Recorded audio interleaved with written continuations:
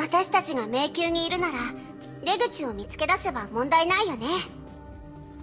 そして最も効率的なやり方は手分けして探すこと。先に出口を見つけた方が他の人たちに教えるの。でも私たちが本当にそうしたら敵の思うツボかもしれない。どこかのおバカさんの話に口を挟もうと思いましたがどうやらその必要はないみたいですね。しかしキアナさんの言う通りです。ケビンの仕業かどうか分かりませんがその目的は私たちの邪魔をすることです。そして何度も私たちに選択肢を与えたのはもしかしたらかっこ撃破という戦術的な意図を隠すためなのかもしれません。そうね。絶対に必要という場面でなければ私たちは一緒に行動するべきだと思うわ。ええ。それなら完璧な戦力を保証するためにこの虚数空間での戦闘は比較的先方に向いている私とスショウさんが対応しましょう。3人はあうんの呼吸で連携が取れますから本当の強敵と向き合うまで力を温存した方がより戦力を活かせるはずです。ここは世界の泡にある地球の中心を通り抜けることができる若トンネルを思い出してしまいますね。でもその原理に類似点はあまりないのでしょうか？迷宮とはいえ静かすぎるよ。道に罠もなければ曲がり角から現れる怪物もいない。あっ！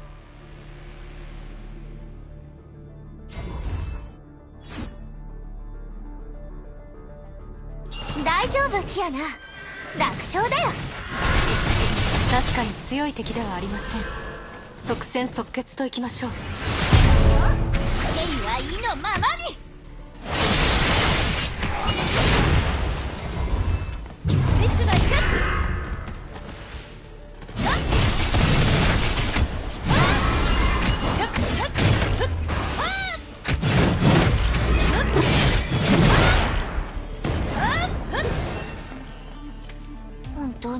しいの？この四角たちは人の体を持ってたのに。倒されたら霧のように消えちゃった。ここがブローニャたちを閉じ込める特殊ステージなら先ほどの敵はいわゆる NPC でしょう。つま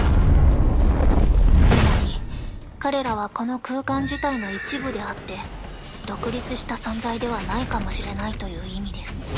何か結論を出したければより多くの証拠が必要ですね。かすり傷です。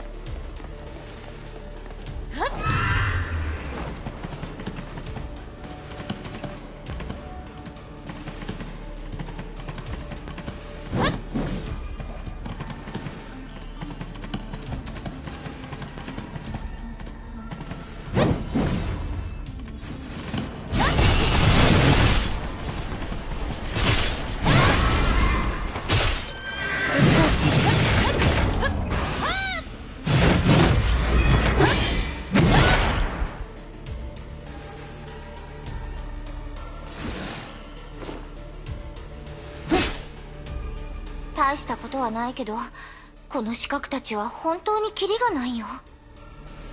もしブローニャさんの推測が正しいなら彼らは確かに崩壊獣のように尽きることのない存在なのでしょう。う聞いただけで疲れてきたよ。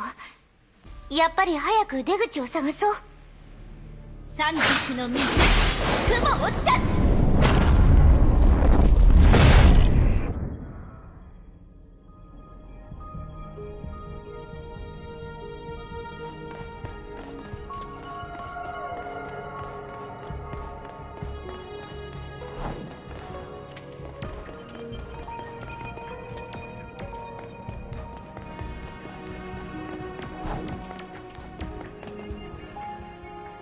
しいよね。だいぶ歩いてるのに出口に関する手がかりが少しも見つからないなんて。まるであの人形たちの手で支配劇場に引きずり込まれたみたい。私もオットー主教に連れられて共に支配劇場に入ったことがありますがゲニウスの統計データによるとこの迷宮は支配劇場ほどの規模ではないようです。支配劇場というより無限回廊の方が近いと思います。無限回廊？アインシュタイン博士からその話を聞いたことがあります。第二次崩壊の戦いでシーリンは無限回廊という閉鎖空間を作りキアナの両親を閉じ込めたそうです。確かその時はあらゆるエネルギーを集中させ衝撃を与えトンネル効果を用い攻撃を空間の外側ににじませ無限回廊をシーリンから引き剥がして解決したとか。暴力で窮地を切り抜ける。古の楽園にいたある英傑のことを思い出したわ。彼のおかげでたとえデータ空間に閉じ込められたとしても全力で空間自体を攻撃すればほころびを作り出せることを知った。とは言ってもこの迷宮が支配劇場無限回廊もしくは古の楽園のどれに似てるか私たちはまだ知らないわね。ええ。それにその3つとも全然違う可能性も否めません。うん。単純で感覚的な言い方をするとここは完成された構造というよりむしろ自然な存在のように感じるよ。例えばここの空間は本当に無限に伸びるみたいで閉鎖的な感じがしないの。そうなると今までブローニャたちが経験したことも合わせて考えると自然で開放的な空間であるここは自発的に成長するのかもしれません。つまりこの迷宮は私たちの足取りに合わせて新たな道を生成し続けてるかもしれないってことよね。なるほど。なんだかブローニャちゃんと委員長が支配劇場で遭遇した状況に似てるわね。しかしどうすればその推測を検証できるのでしょう。異なる地点で何度もデータをテストしたり比較する必要があるのでしょうか？いいえ必ず存在する抜け穴を見つけ出せばいいだけです。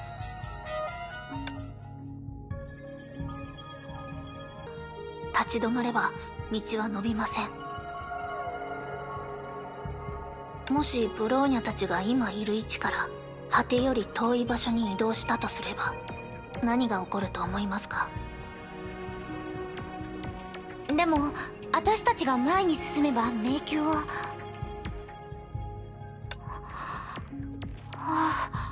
分かったよ。後のことはキアナに頼むしかないんだね。はい。支配劇場にいた時人形たちは階段を動かすことでブローニャと委員長を閉じ込めました。あの時は時間がかかりましたが今回はキアナがいますから答えに直接触れられるかもしれません。うん。やってみるよ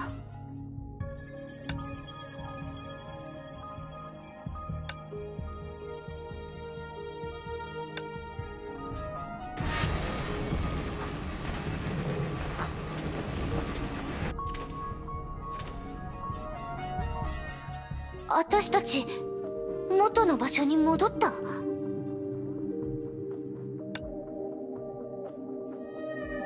私に問題があったのかもしれない。もう一度やってみる。待ってキアナ。盲目的にやり直すよりまずは原因の分析をしましょう。空間が開放的だと感じ取れるなら次は一歩進んで空間の形を調べてみませんか？今は無限回廊の時とは状況が異なりますが迷宮が人を迷わせる一番の原因はその形自体にあります。確かにそうだね。今までの私たちは簡単な調査しかしてなかったから何かを見落としてたのかもしれない。